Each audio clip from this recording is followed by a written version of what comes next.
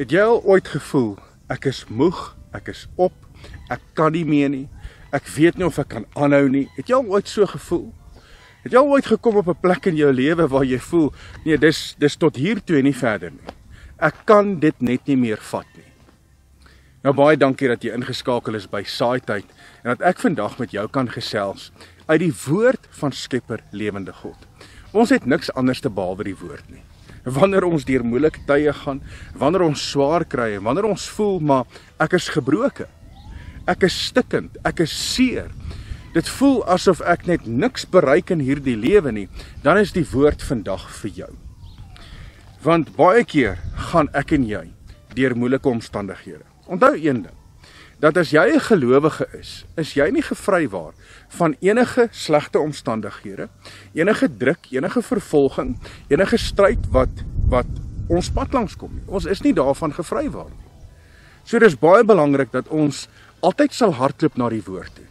Want ek kry my antwoord in die woord. En ek wil vandag vir jou lees, as jy dalk sê, maar ek is op. ek wil nie meer nie.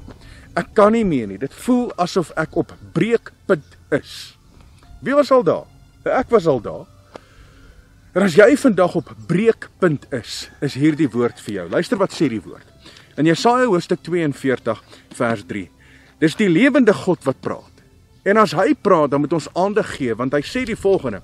Hy sê die geknakte riet sal hy nie verbreek nie. En die dowwe lampet nie uitblus nie. Met getrouheid sal hy die reg uitbring. Dis darem 'n pragtige woorde om te weet vandag al voel jy asof jy op is, dit voel asof jy op breekpunt is, kom die woord vandag en dit kom gee bemoediging aan my en aan jou. Dat hy sê duidelik, al al is jy geknak en dit al voel dit asof jy op breekpunt is, ek sal nie toelaat dat jy gebreek word nie. Ek sal nie toelaat dat jy gebreek word nie. Ek sal nie daai dowwe liggie wat nog in jou skyn, daai lampet wat besig is om te rook. Jy sien want hy het alreeds amper sy lig verloor. Hy sal so dof en al wat gebeur is daar's net 'n rookie wat opgaan. Hy sal dit nie uitblus nie, maar wat hy inteendeel sal doen is, hy sal ons kom genees. Hy sal ons kom versterk. Hy sal ons die moed kom gee deur sy woord, die krag kom gee, die die die hand van die lewende God kom openbaar in ons lewe sodat ons kan staande bly. Sodat ons deur die storm en deur die omstandighede kan gaan.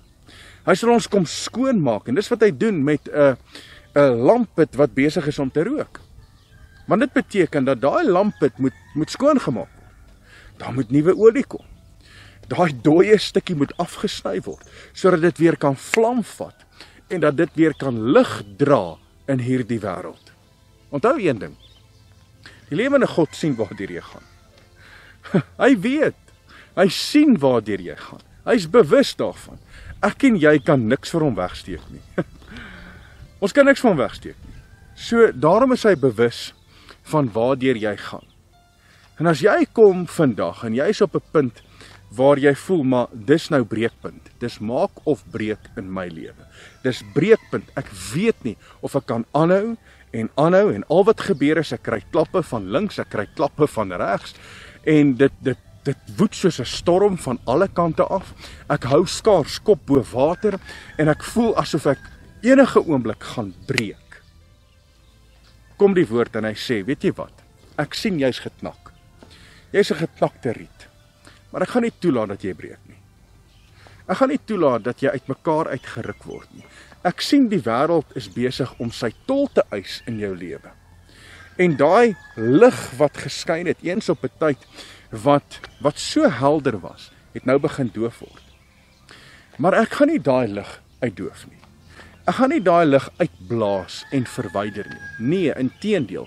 Ek gaan begin werk aan daardie lig. En ek gaan daai lig weer aan die gang kry. En ek gaan daai geknakte riet weer sterk maak. En dis wat die lewende God sê. Hy sê met getrouheid sal hy die reg uitbring. In ander woorde, hy is getrou in jou lewe. Hy's getrou. En hy weet wat in jou lewe plaasvind. So hy's getrou en regverdig en hy sal alles bewerkstellig ten goeie vir jou lewe. Hoekom? Omdat jy hom liefhet. Omdat jy hom dien in gees en in waarheid. Maar jy sê dalk nou vir my, maar maar hoekom gebeur hierdie dinge dan? As ek hom dan dien in gees en in waarheid, hoekom ervaar ek al hierdie stryd? Hoekom voel dit asof ek op breekpunt is? En baie keer het ons nie altyd die antwoorde nie. Baie keer weet ons nie altyd wat die lewende God besig is in ons in ons lewe nie. Ons het nie altyd die antwoorde nie. Jy sien want hy hy weet wat die toekoms vir ons inhou. En hy weet wat in ons is en hy weet waarmee ons besig is. So weet jy wat, as ek hom dien in gees en in waarheid en hy bewerkstellig sekere goed in my lewe om om seker te maak ek kom sterker aan die ander kant uit. Om my toe kom skoon maak sodat ek 'n helderder lig kan wees, then so be it dan is ek baie bly en dankbaar dat hy hierdie goed in my lewe doen sodat ek sterker en groter en beter aan die ander kant van die storm kan uitkom. So ek loof hom, ek prys hom, ek aanbid hom vir alles waartoe ek gaan. Al voel dit vandag asof jy op breekpunt is. Want sy woord is vir my 'n lafenis. Halleluja. Sy woord kom soos soos koue water op 'n warm dag. Wat hy my kom beloof om te sê, Rian, al is jy geknak, ek gaan jou nie verbreek nie. Renal sien ek jy's jou jou jou lampe is besig om doof te raak. Daar's net 'n rookie wat opgaan. Gaan ek dit nie uitblus nie. Inteendeel, gaan ek dinge bewerkstellig in jou lewe wat jou verbaas sal laat staan. So daarom bring ek vandag hierdie woord vir jou. Sodat jy nie meer langer op moed verlaat se vlakte sal sit nie. Dat jy nie meer langer sal sit op breekpunt en wonder wanneer gaan die bom bars. En wanneer gaan ek dit verloor en wanneer gaan ek totaal begin ingee? Nee, dis nou tyd om jou kop op te lig en jou skouers terug te trek om vorentoe te kyk met die wete dat die lewende God is in beheer en as hy in beheer is, wie kan hom keer? Halleluja. So daarom wil ek hierdie woord vandag in jou lewe kom saai sodat jy vandag sal besef dat hy sal jou nooit los nie. Hy sal jou nooit los nie. Hy's altyd besig in jou lewe en mag hierdie woord vandag weer nuwe moed vir jou gee. Somme somme jou laat opstaan en en in die wêreld aanpak en met die wete dat ek kan ek kan uitbreekpunt uitkom. En ek kan begin vorentoe beweeg want ek weet die lewende God maak vir my 'n weg. So ek wil jou seën met hierdie woord en mag hierdie woord vandag 'n transformasie veroorsaak in jou lewe en dat jy sal terugkyk na die storms en omstandighede in jou lewe en jy sal besef maar dis waar ek was. Maar die lewende God het my daar uitgehaal en ek kan getuig oor sy goedheid, sy guns en sy genade op my lewe. Halleluja. Nou baie dankie dat jy ingeskakel was en dat ek hierdie woord met jou vandag kon gedeel het. My naam is Rian Abri. Wees geseënd en geniet jou dag en mag jy sommer nuwe krag en nuwe ywer hê om hierdie dag aan te pak. Nou ja, goed gaan. Geniet jou dag. Shalom.